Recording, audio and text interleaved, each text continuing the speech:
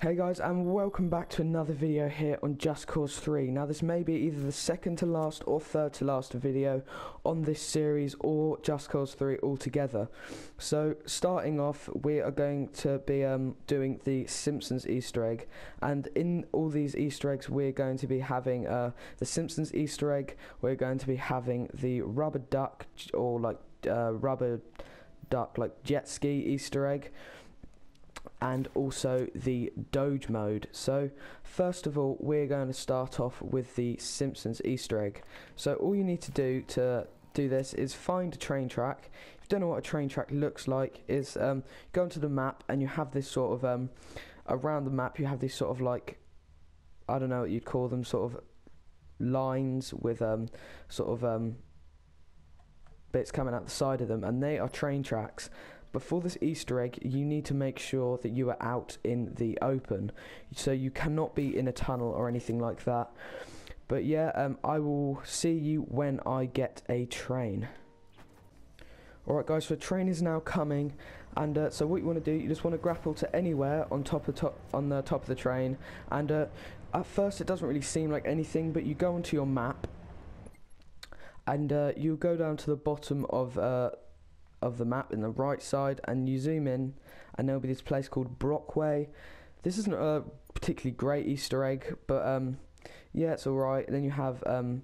Um, this is mentioned in a episode of The Simpsons where there's a man talking about places that his train trains are delivered to, and he mentions these three um, these are three islands: North Haverbrook, Ogdenville and the um, other one which is uh, where is it? Just down here which is Brockway.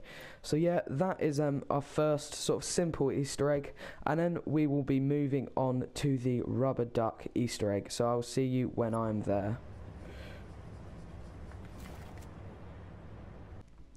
Alright guys, so we are now at the second Easter egg, the rubber duck, and uh, so this Easter egg is located in Valdemar, in this sort of little lake here, uh, in the top um, top right corner, just on land a bit. So what you want to do is you want to come down here, and you will see these sort of two uh, these two rubber ducks just on the floor.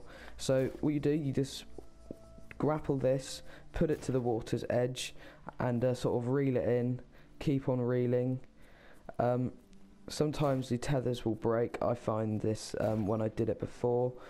But yeah, so you just you keep on pulling until uh, you eventually get it into the water, and I will see you when I get it there.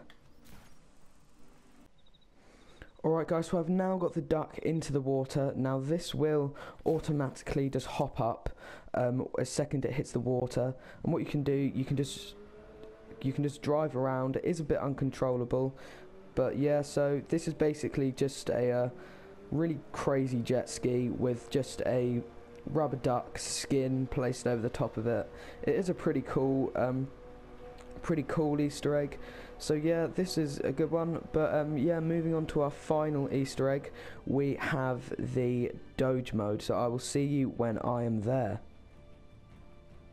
Alright, so here we are at um, at the Doge mode um, area. So this area is in Soliana, I believe you say it, in uh, the province of Mesos.